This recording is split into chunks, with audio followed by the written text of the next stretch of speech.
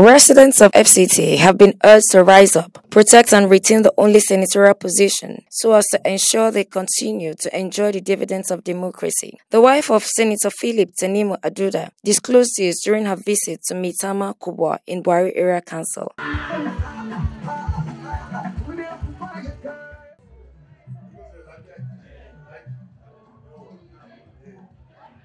The district head of Mitama Kubwa, while praying for her and the family, urged his people to support the senator to enable him continue the good works he's doing for the FCT people.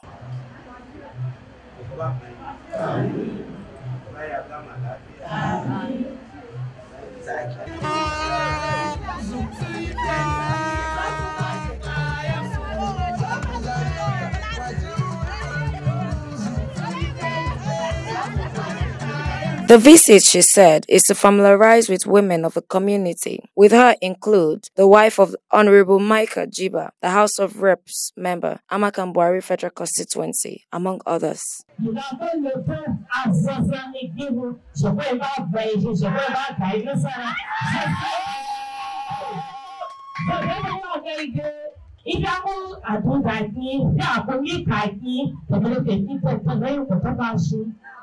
ingweki àti kòfẹ́yẹ pípímáyé ṣì bí ara sọ̀ṣẹ́ ìmẹ́lẹ̀ ní gbogbo ẹ̀ṣẹ̀ síra ẹ̀kúrò lábá ìsàsà kwawu ìpéńpé ẹ̀yà tó àlùbẹ̀ ṣòkòbá àkàyè lọ́sára yìí jẹ́ ìṣúná yìí ní àgbàdá níbo. Mun so ne mata 'yan uwanmu mu gan ku. Mu kuma tunashe muku cewa lokaci ya yi.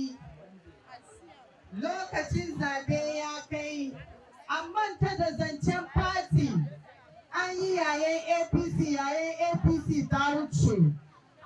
Ba abin da suka kawo mana sai talauci. Sun kawo mana wahala. Sun kawo mana ciwon kai. Ba ma isasshen bacci. Muna bacci ido ɗaya a rufe ido ɗaya a buɗe. To ubangiji allah ya ɗauke mana wannan azalumin.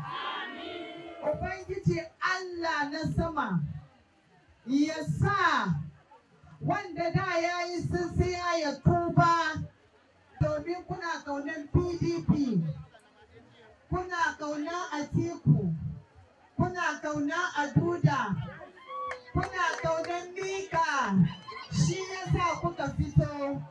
Ubangiji Mitama Kubwa is among communities visited by Princess Hauwa Aduda across the FCT. Ilya Beauty, AGTV News.